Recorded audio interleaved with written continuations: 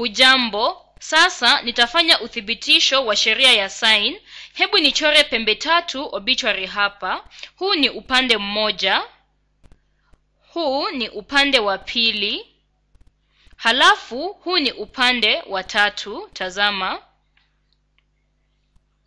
Halafu wacha tuseme kuwa tunajua maelezo yafuatayo. Tunajua hii pembe uh, naomba mtilie maanani kila hatua nitakayofafanua. Sheria ya kosa samahani sheria ya science ni uhusiano tu kati ya pembe na pande tofauti. Hii pembe hapa ni alfa huu upande una urefu wa a halafu hii pembe hapa ni beta halafu urefu wa hapa ni ba.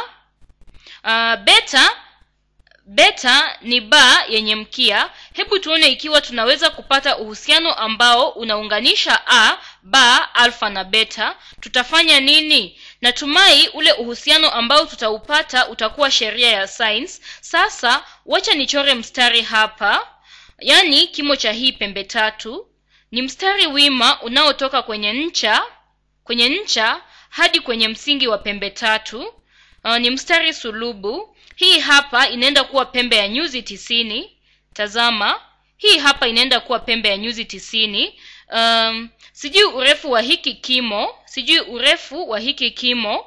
Ninajua tu kuwa nilichora mstari kutoka kwenye hii ncha hadi kwenye msingi wa pembe tatu na ni mstari sulubu. Sasa tunaweza kufanya nini na huu mstari? Uh, hebu tuseme kuwa huu mstari una urefu wa x huu mstari hapa una urefu wa x.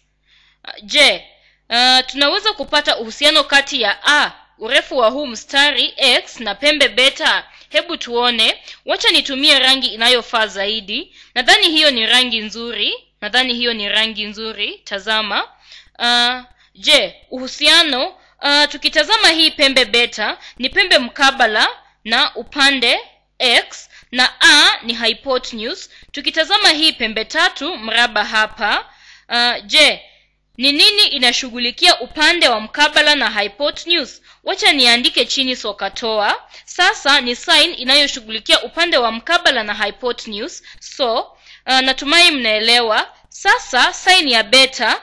Sin ya beta ni sawia na upande wa mkabala kwa hypotenuse ni sawia na upande wa mkabala yani x uh, na hip kwa hypotenuse hypotenuse ni a.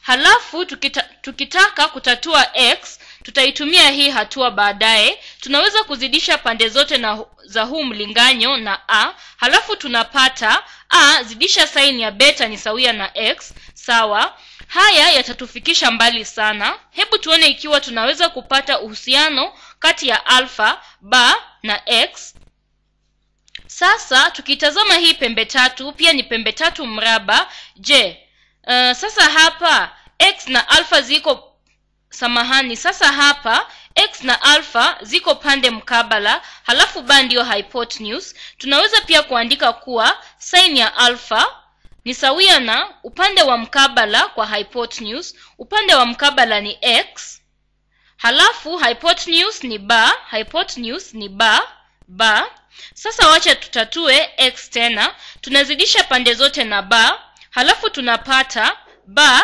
zidisha sin ya alfa ni sawia na x. Sasa tuna njia mbili tofauti ambazo tumezitumia ili kupata huu urefu. Hiki kimo ambacho nilikichora tuna a zidisha sin ya beta ni sawia na x. Halafu ba zidisha sin ya alfa pia ni sawia na x. Semi zote ni sawia na x uh, kwa hivyo ni semi sawia hebu niandike hayo chini hebu niandike kwa kutumia rangi nyingine.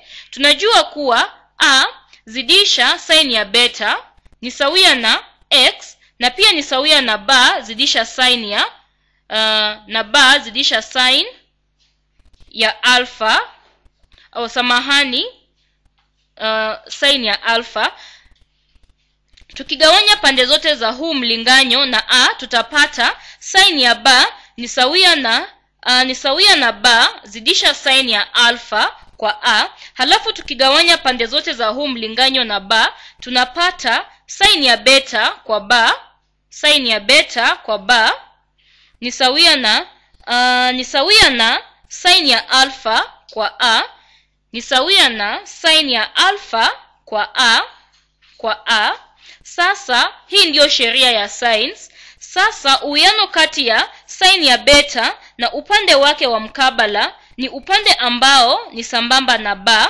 ni sawia na uwiano wa sin ya alfa na upande wake wa mkabala. Uh, wacha tuendelee. Tazama hebu tuseme kuwa hii pembe hapa ni theta halafu huu upande ni cha. Sasa haya pia yatakuwa sawa sawia na sin ya theta uh, sin ya theta kwa cha. Halafu sababu ya kunifanya niandike hii hapa ni kutambulika. Tulichukua ba kama obituary. Tungefanya vivyo hivyo kwa theta na cha lakini badala ya kuchora kimo hapa tutachora kimo kingine halafu nafikiri mtaweza kumalizia hayo. Jambo la muhimu ni kwamba tuna huu uwiano. Uh, halafu unaweza kugeuza pande zote za huu uwiano. Utaandika ba kwa saini ya ba ni sawia na a kwa saini ya alfa kwa saini ya alfa na haya ni ya muhimu sana kwa sababu ukijua upande mmoja wa pem, na pembe yake sambamba yani pembe ya mkabala halafu pia unajua upande mwingine basi utaweza kupata pembe hiyo ya mkabala. Yaani uh, ukijua tatu ya hizi unaweza kupata ya nne. Na haya ndiyo ya muhimu sana kuhusu sheria ya science. Tutafanya matatizo yanayohusu sheria ya science baadaye. Asanteni sana